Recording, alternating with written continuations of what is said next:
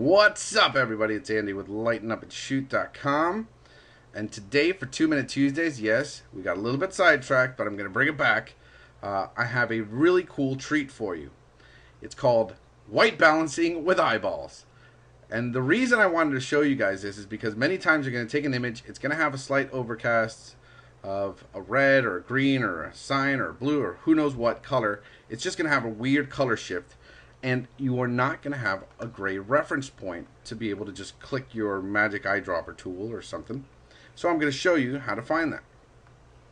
In this image, the only gray area of this image is her eyeballs. So we are actually going to use that to white balance this image. The first thing we do is we make a copy of the background layer. Control J on a PC, Command J on a Mac. Next thing I'm going to do is I'm going to zoom into her eyeballs just about there. That's pretty good. And I'm going to click F8. F8 will bring up my info palette. If you don't want to click F8, you can just go up to Window and go to Info. And it's going to pop up this window. This window works with the eyedropper tool. The eyedropper tool is right over here. Your shortcut is I, the letter I as in Indian. You're going to click on that and wherever you drag your eyedropper tool, you're going to see that these colors up here change because it's taking a sample of what it's going over. All right, blah, blah, blah, blah, blah, blah. Okay. The one thing you should change is that Photoshop by default up here will be set up on point sample. I don't like point sample because point sample is just too small of a section for me. So the larger my image is, the higher my average I want it to be.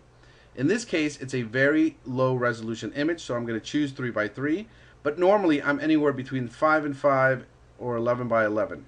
Okay, Those of you with Hasselblads, you could go a little bit higher, but uh, for us normal folks, 5 by 5, 11 by 11.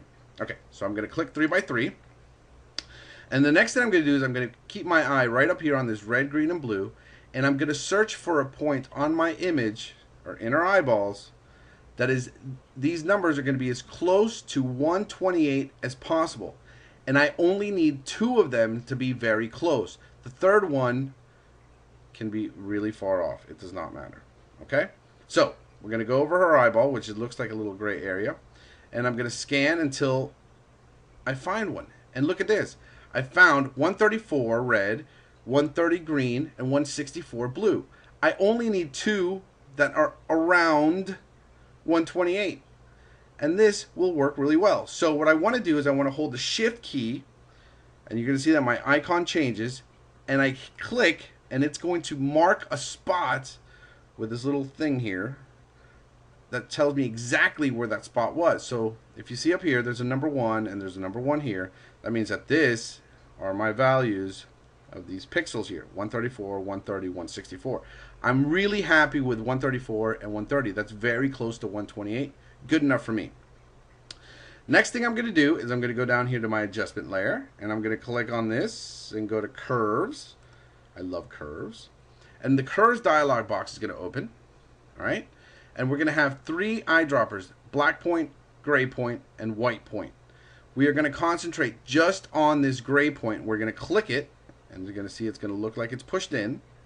And we're going to drag it over right to where that one is, and Photoshop will snap it right into place right on right in the middle. And you're going to click. And once you click, miracles will happen. So let's click. You can immediately see the uh, color change. Let's zoom out by double clicking on the hand. And this, boys and girls, is my before and my after. And that is pretty well balanced. I can always go in and fine tune by going into some of these channels if I really want to. Like for example, this is just a teeny, teeny, teeny bit too green. So I'm going to go to my green channel. I'm going to click, see how it's got a little, little ball here? I'm going to click on that just once. And with my arrow keys, I'm just going to push down because I want to get rid of it just a little bit. And there is my perfect correction. Before and after. How to fix white balance with the eyeballs.